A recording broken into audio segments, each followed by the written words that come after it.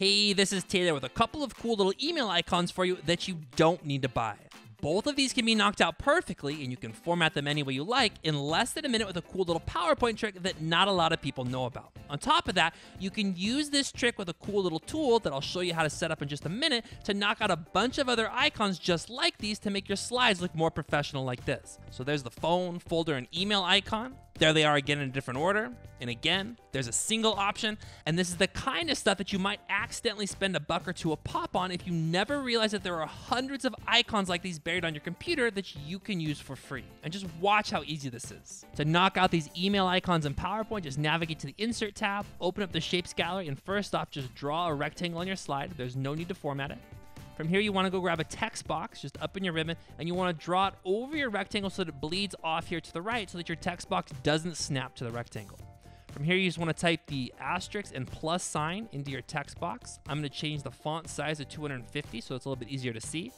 From here, you're just gonna, with your mouse, click into the font style input box, type Wingdings, hit enter, and you're immediately gonna see the icons you want, but you don't wanna stop here. As of now, this is just an icon font, not an actual vector graphic that we can manipulate.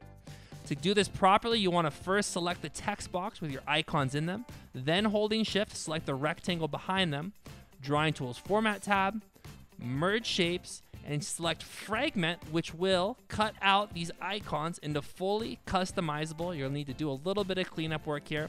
Fully customizable graphics that you can then do anything you want with. I'll just resize mine like that. Control Shift G to ungroup. From here to change the fill color, just come up to the Drawing Tools Format tab. You can open up the shape fill. You can color these any way you like. You can even add some texture effects. For these, I'm gonna add a drop shadow like that. And you can see just how easy this clever little technique is, but it gets even better. The next little bit is where the real money to this technique is. But first off, if this is the kind of cool PowerPoint stuff you want to see more of on my channel, please take a second and give this video a thumbs up here on YouTube. It's an easy click for you and lets me know what kind of stuff I should continue adding to my channel.